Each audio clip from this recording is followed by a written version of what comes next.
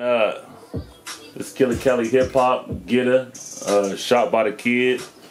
Uh, we got a special guest in the house tonight. We got space on a motherfucking beat, man. I'm Space on the Beat, Sacramento Zone.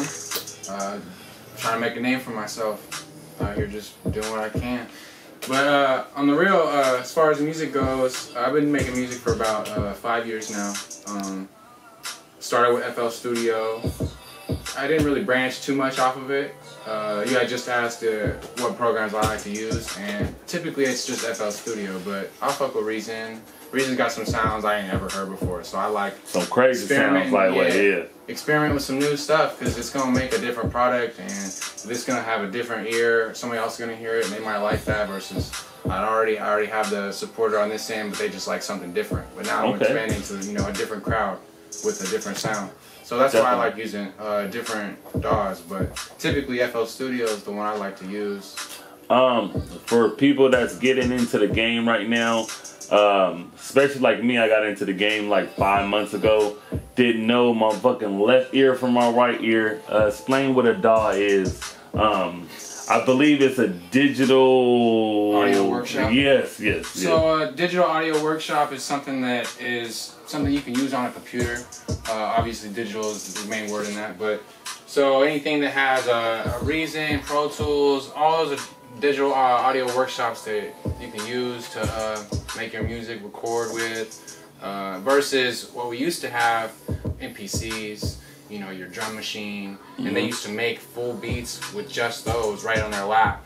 Like that, that was their computer. But Okay. now, you know, we got the upgraded systems. We can all do it on our computers, Yeah. almost with a snap of a finger, really.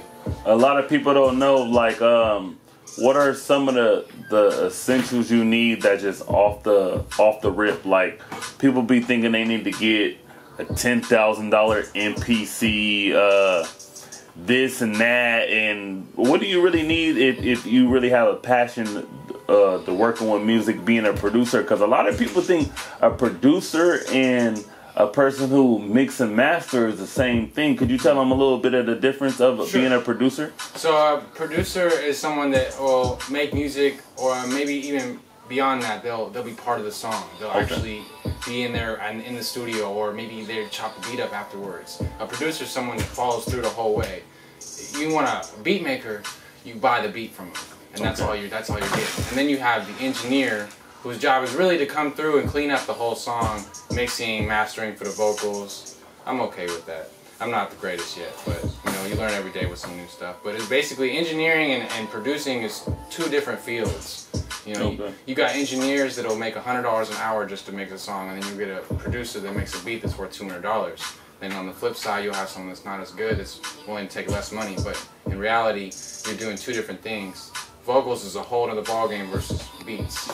You're talking about a different language, really, like Latin and English. You know, Okay, it's damn near like you really have to go to school for engineering.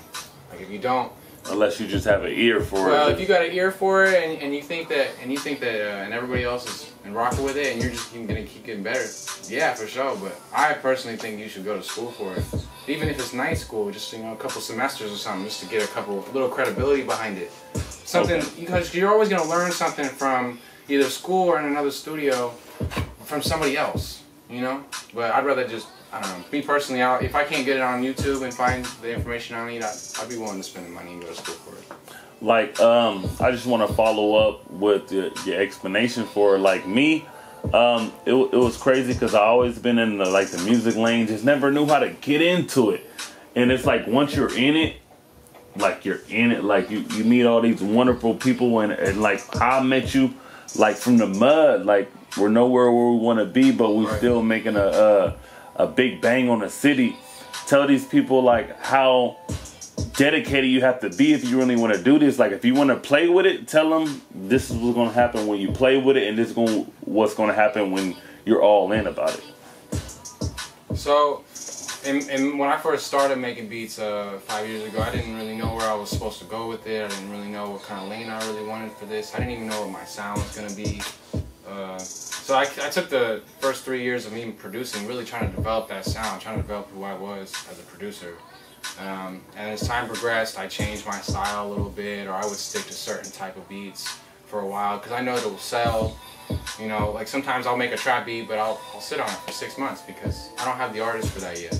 But um, uh, I'm trying to answer your question to the best of my ability. Um, That's good. We can chop a slice however we need to. okay, for sure. Um, can you can you ask me the question again? Uh, so, so what's the difference between like uh, uh, a person who want to get into it, that's gonna go all into Okay. it instead of going left, like I'm gonna do it when I can, and so you're talking about full time versus half time. yes, Okay, so someone that's full time, you either either have the means for it or you just have the passion for it. But if you don't have either of those, you you are doing it half time. And to me, you know, because if you're not putting your full effort into something already, then you're not gonna even get what you want out of it. Like my beats, I'm not gonna half-ass it and then put it out, and then someone's gonna think, oh yeah, this is a banger. They're gonna be like, mm, it's okay, you know. definitely. Um, I did want to say something. Um, this is my first time doing a commentary